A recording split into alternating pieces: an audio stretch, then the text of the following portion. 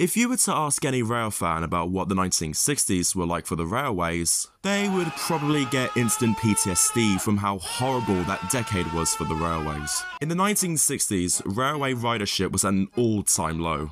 People began to view the railways as a slow and an outdated method of transportation, while cars and international air travel, on the other hand, were quickly rising in popularity, due to the aftermath of the Second World War where they became more accessible and affordable for the public. For a while, it seemed like that the Iron Horse would end up suffering the same fate as its predecessors 150 years ago.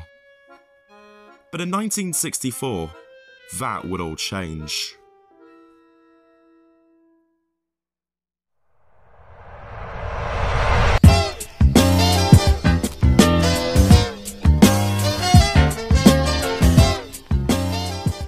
On the 1st of October 1964, Japan launched a new train called the Shinkansen, a high-speed rail service connecting the two major Japanese cities of Tokyo and Osaka with trains that are capable of a speed of 130 miles per hour.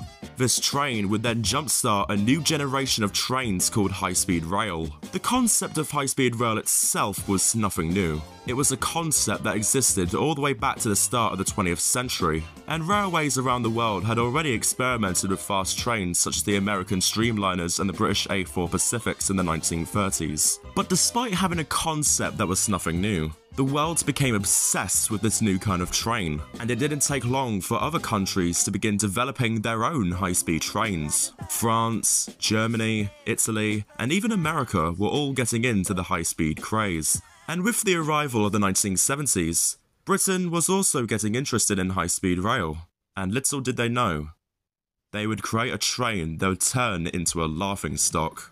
This is the story of the advanced passenger train.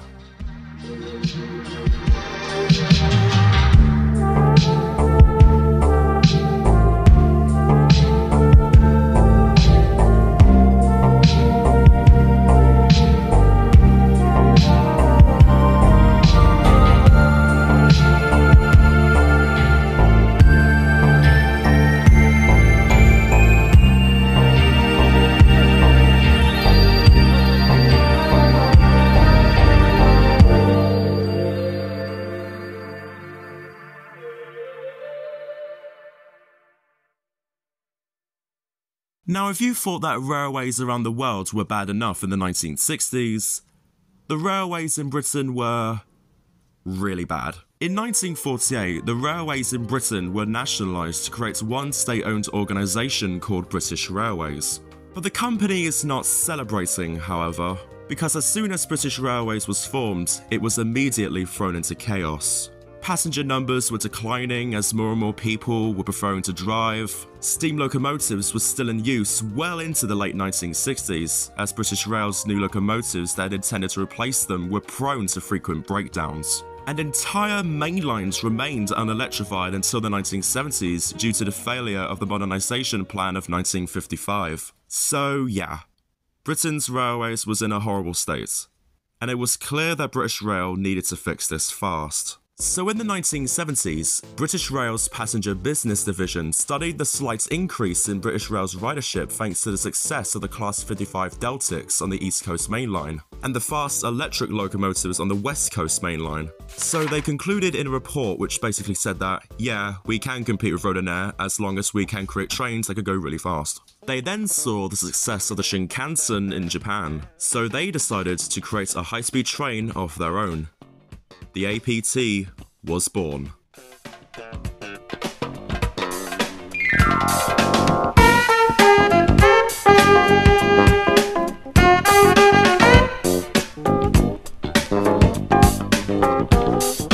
So British Rail's solution to their problem was solved. They just needed a high-speed train. But there was another problem. Thanks to the low passenger numbers, income was very low, so there wasn't really enough money to construct a dedicated high-speed railway line. And with a certain individual in power of Britain at the time, it was highly unlikely that that certain someone would be willing to throw away money at a new railway line. So British Rail would instead run their new high-speed trains on conventional railway lines, more specifically, the West Coast Main Line. But then there was another problem. The West Coast Main Line was really old, containing a lot of tight curves and twists and turns that would make it impossible for trains to travel at high speeds. But then British Rail had a delightfully devilish idea. Delightfully devilish, Seymour. Why not just make the train tilt? Now this is gonna get nerdy, so bear with me. So unlike Japan, where they tilted the rails into turns, known as super elevation, a traditional but expensive and time-consuming construction method with Japanese rail, the APT would instead incorporate a system of hydraulic cylinders in each coach that would quickly drive the coaches to a tilting angle to the left or to the right whenever the train approached a curve. This in turn keeps the lateral forces inside the passenger coaches at a comfortable level, and it would also mean that the train wouldn't have to slow down when it approached curves, unlike a regular conventional train. So in 1964, British Rail dispersed a couple of research groups to the new research division at Derby, where a man by the name of Alan Wickens would be in charge. Alan Wickens, who used to be an aerodynamics expert, was a very successful engineer for British Rail. Earlier in the 1960s, he was tasked to sort out a hunting oscillation problem of freight cars, and he fixed this problem in 1964 by creating a high-speed freight car with a suspension that included two vertical coil springs and hydraulic dampers at each corner. Now on that same year, he and his team was tasked by British Rail to construct a full-fledged tilting high-speed train. So he and his team got to work.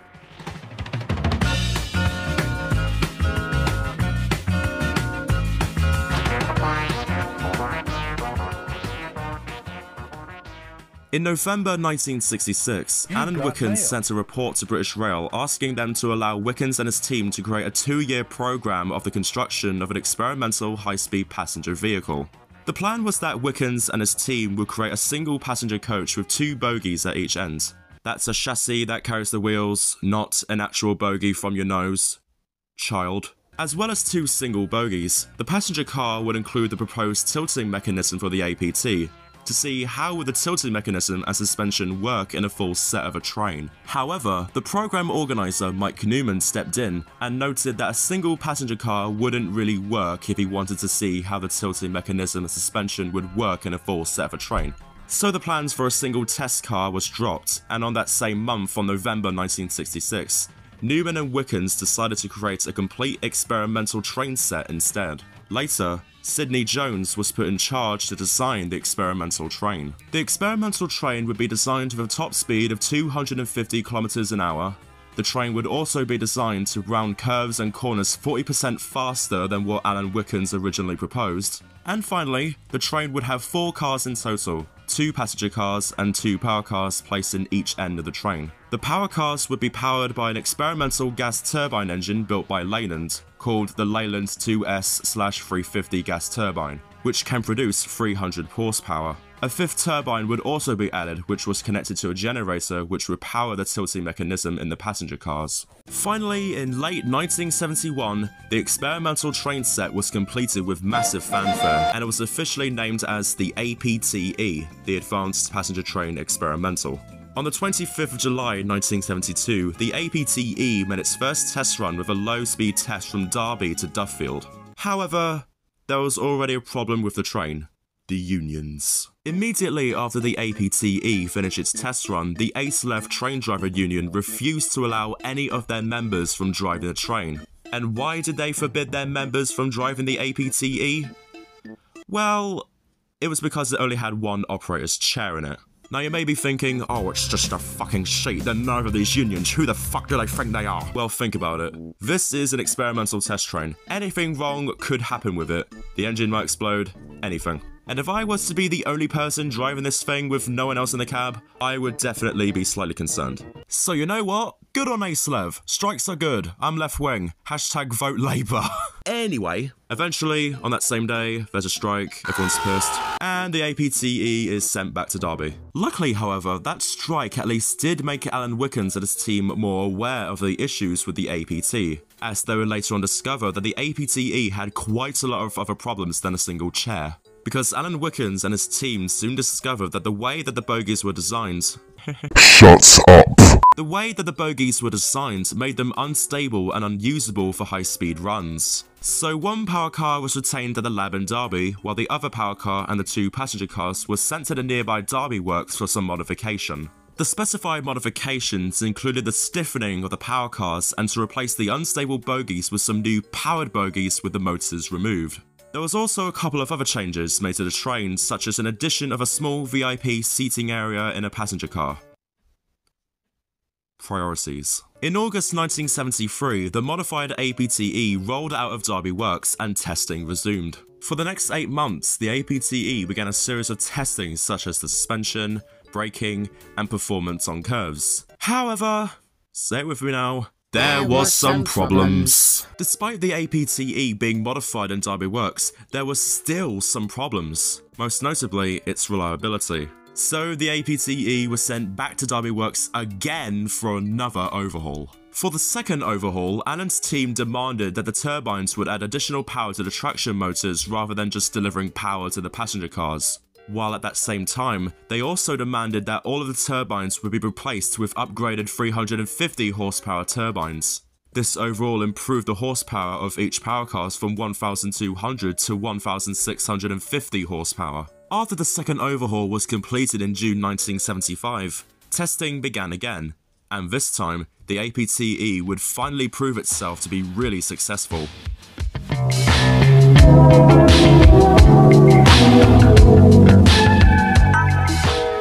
The APTE had set a speed record by reaching a speed of 152.3 miles per hour between Swindon and Reading. It also set another speed record on the 30th of October 1975 after it completed a journey on the Midland Main Line from Leicester to London St Pancras in just 58 minutes at an average speed of 101 miles per hour. And yet another speed record was made after the APTE ran at a speed of 143.6 miles per hour on the Old Dalby test track. Finally, after completing many successful test runs and covering a total of 23,500 miles, the APTE was retired in 1976, and today it is now preserved in the National Railway Museum in York. So then, now that the APTE had run its course and it was proven to be quite successful, for the most part anyways, it was now time to create the vinyl version of the APT and get it into passenger service.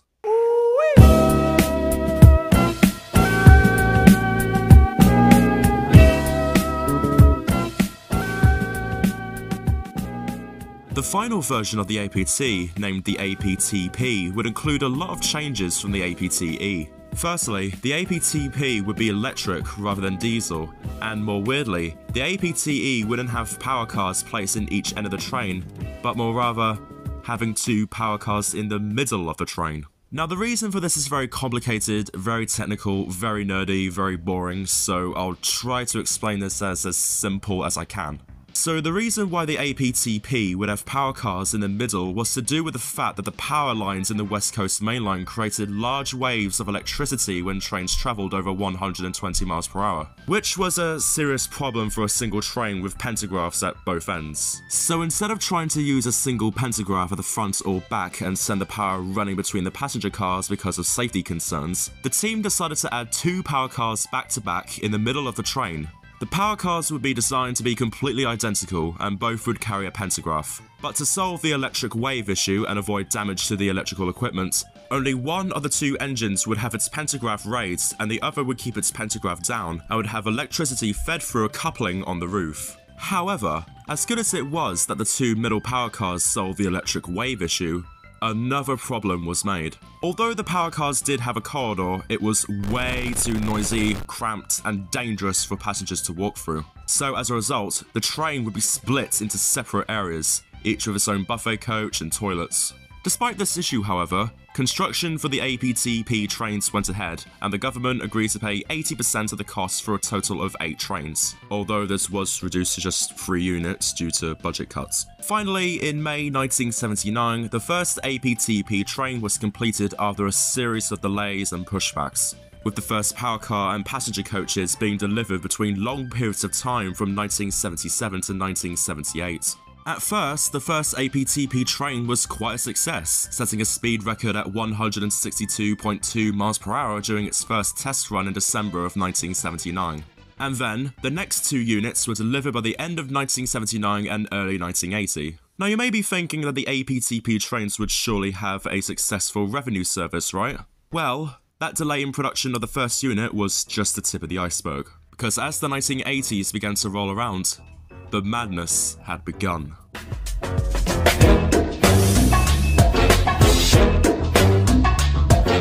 By the 1980s, despite having a large number of successful tests, the APT was still not in revenue service, and people began to grow impatient. The press began to constantly pressure the management of British Rail to just get the damn thing into service. The pressure from the press would then later on turn into political pressure, and then that would turn into management pressure.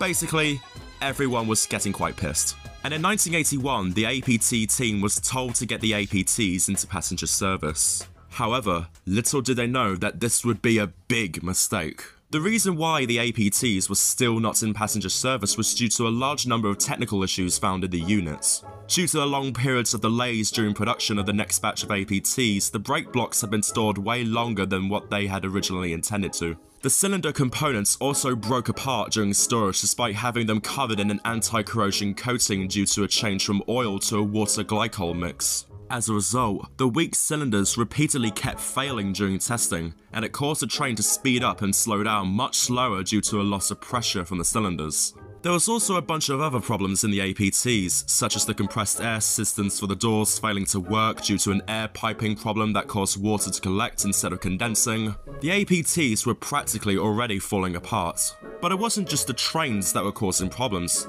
but it was also the lines that they were built for. The West Coast Main Line wasn't exactly built with an intention for a tilting train, as the team would soon discover that parts of the mainline had been built in a way that if one coach in the train had their tilting mechanism failed and stuck in the inward tilted position, it would strike another APTP train passing by if the tilting mechanism on that train experienced the same problem as the other. So not only were the APTPs already falling apart, they were also built to run on a mainline that wasn't even built for tilting trains in the first place.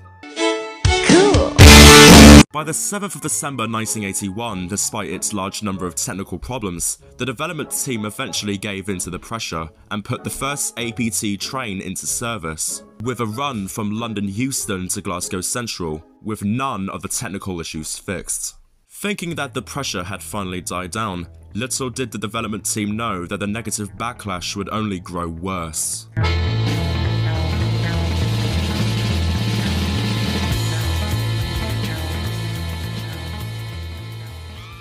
During the journey, the press and the passengers that were invited on board spotted a lot of problems on the train. Most notably was that the passengers would experience motion sickness from the tilting system. A British Rail engineer tried to dismiss these claims by saying that the passengers were just drunk after drinking too much of the free alcohol that was served on board, but that never really worked. On the next day, the problems on the train only got worse as in the next day of operation, the tilting mechanism in one coach failed and it was stuck in an outward position. Then two days later, the temperature in the train dipped, causing the water in the brakes to freeze, and the train was forced to terminate at Crewe as a result. After the four day long shit show of mechanical failures, the press began to focus a lot of negative reporting on the APT. The press were basically taking the piss out of it and dubbing it the Queasy Rider and the accident prone train. British Rail desperately tried to get the APT into good publicity. One of the most notable and comedic ways they did was that they hired a former Blue Peter presenter, Peter Purves, to take a ride on the APT for a promotional film called London to Glasgow. In the film, Peter described the ride as being smooth and quiet and a delightful experience, despite the fact that shutters were visible and dishes were rattling. British Rail even gave the APT its own theme song,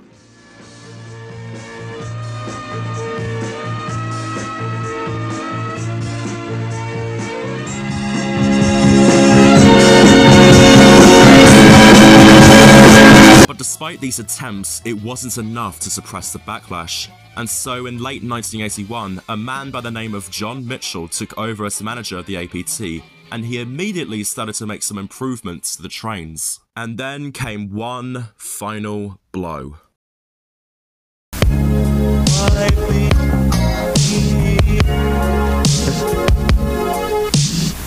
Mid-1984, British Rail quietly sent the modified APTs back into passenger service. So quietly in fact that it wasn't even announced on the timetables. so passengers would have to only guess if they were taking an APT if one arrived at a station. Luckily, the newly modified trains had worked quite well and no more technical issues were reported. Plans were put in place to create another batch of APTs called the APT-S, a batch of trains that would have been capable of a speed of 140 miles per hour. However, due to our wonderful world of British politics, the plans were scrapped. Despite the APTs finally performing well in passenger service, pressure amongst the British Rail higher-ups to abandon the APTs entirely was gradually growing as the APT's rival, the Intercity 125 HST sets, were proving to be more successful, as they were able to operate across the entirety of the British Railway network with its diesel-powered engines and slower speeds. Support for the APT gradually plummeted, and eventually, in the winter of 1985, British Rail finally gave in, and the APT service was permanently abandoned. And so ends the nearly 30 year long run of the advanced passenger train.